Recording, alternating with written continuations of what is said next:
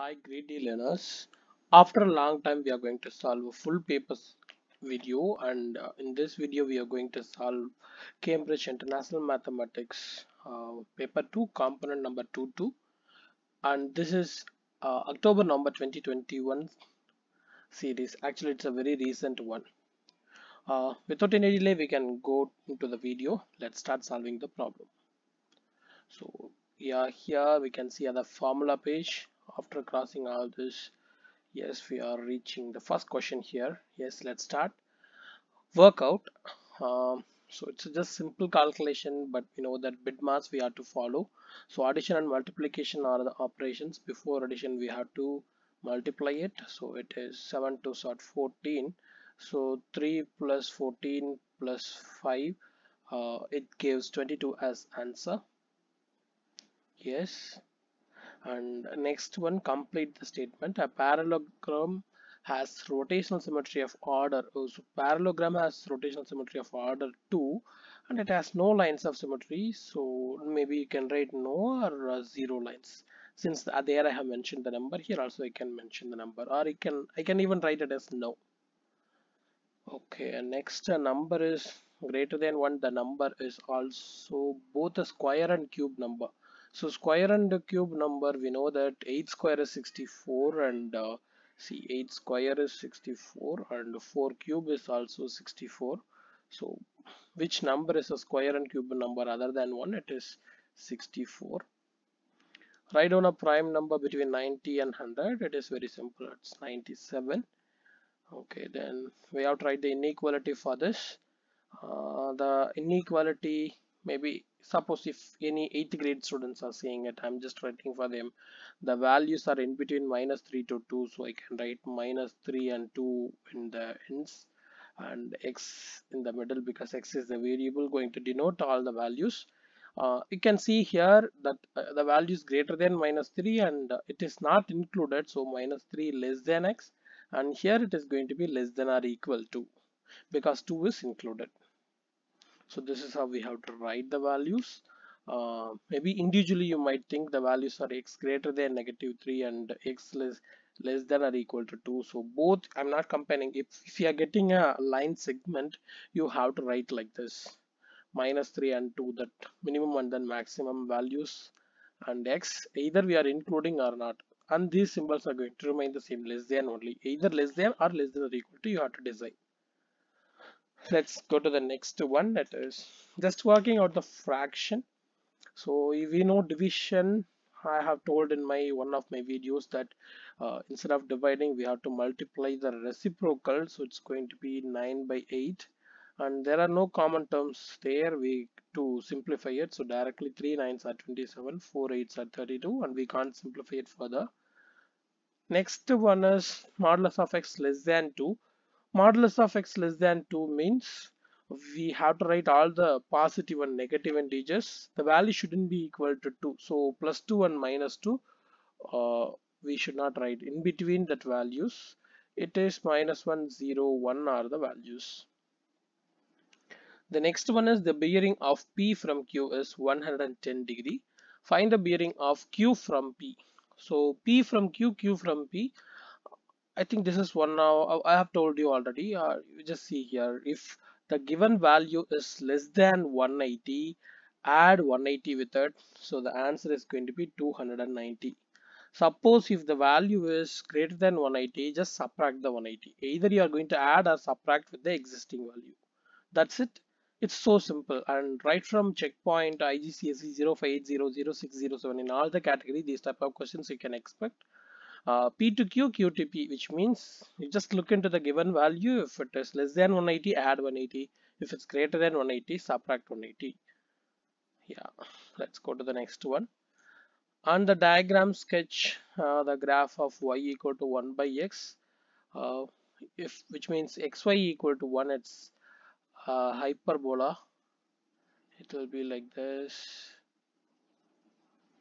not only in the positive side even the negative side it will be like this.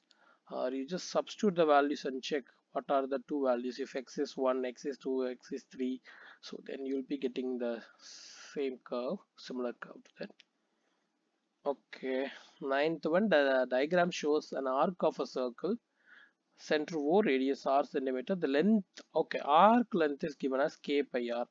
And here all the values are given except to the radius and even in the uh, given value they use that radius as r itself. We have to find out the value of k in its simplest form.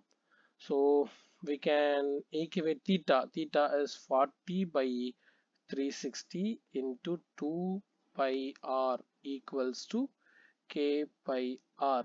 So what we have to do here we have to simplify the terms pi r and pi r. If you simplify it then here 40 and 360 if you simplify you'll be getting in the denominator 9 140 at 40 940 at 360 and that's it. In the right side we have only k. Here we have 2 by 9 so the value of k is 2 by 9 and that's it. We can't simplify so we can write that that answer itself.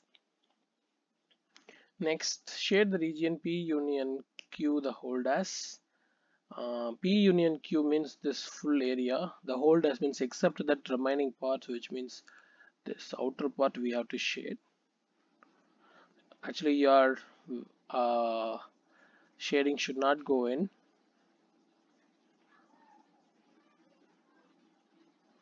So that's it we did uh, next the Venn diagram shows the number of elements in each region. So each are numbers. 8 means 8 numbers 9 numbers 10 numbers 11 7 numbers. R intersection t dash. So what does it mean by r intersection t dash? You just forget the whole thing.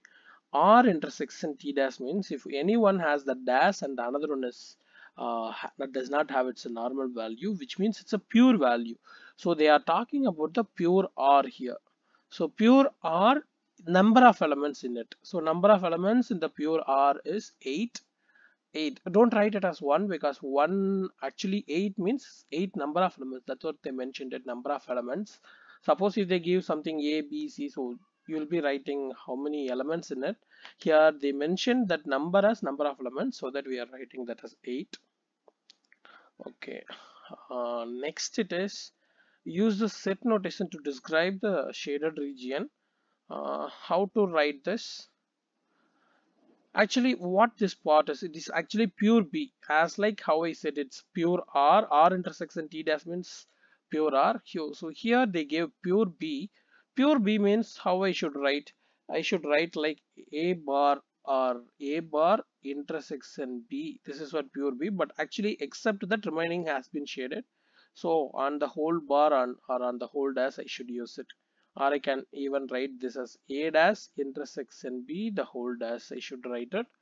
Um, maybe uh, I can tell you the De Morgan laws. If you have the whole dash you can uh, distribute the whole dash to that individual elements which is inside the bracket. So that time it will be a double dash. Intersection will change into union at the time. And b dash it will be double dash is nothing but when you are uh, reversing two times it will be as common number same number a union b dash so you can write this as a union b dash or, or else you can even write this as as per your understanding, you can simply write it as A dash intersection B, which is the pure A whole dash you can put so that it refers the same. Both are correct. Nothing wrong in it. Okay, next rearrange the formula to make W the subject. So only W should be there. 2 will go that side, it will be 2y. Square will go that side, square root. And I told the plus or minus you should use. That is the W. So W equal to plus or minus square root of 2y is the value. Next work out the value of 32 power 2 by 5. Uh, in I have told uh, when I have solved the previous problems if you have 5 in the denominator of the power then you should take fifth root. So fifth root of 32 for that you should take square. Fifth root of 32 we know 2 power 5 is 32 so fifth root of 32 is 2 so 2 power 2 it is nothing but 4 is the answer. Then so here we have to calculate x. So how are we going to calculate? This angle is same as this angle. It is 40 as per the alternate segment theorem. Uh, angle between the tangent and the chord is equal to the angle in the alternate segment. If this is uh, 40 then 40 plus 77 it is going to be 117 and this x is 180 minus 117 that's how we have to calculate because sum of all angles of a triangle is 180 if you do it will be getting the answer as 63 degree for x. Yeah let's proceed to the next. 5 root 5 sorry root of 125 we, can write this as 5 root 5 um, because this is nothing but 25 into 5 uh, plus root 80 is 16 into 5 16 5 is at 80 so in 16 you can take 4 outside so it will be 4 root 5 5 root 5 plus 4 root 5 we know that we have to add these two numbers. It's going to be 9 root 5 is the answer the next we have to solve it's very easy. Just uh, cross multiply the two denominators so it will be 2 into 8 minus x equals 3 into x plus 1 if you expand the bracket 16 minus 2x is equals 3x plus 3 we can move to the Becker coefficient side so minus 2x will go that side 3x plus 2x and 16 minus 3 it is 13 and here it is 5x so x will be 13 divided by 5 or you can write the fractional value to it is uh, 2 5 2 5 are 10 and 36 you can write.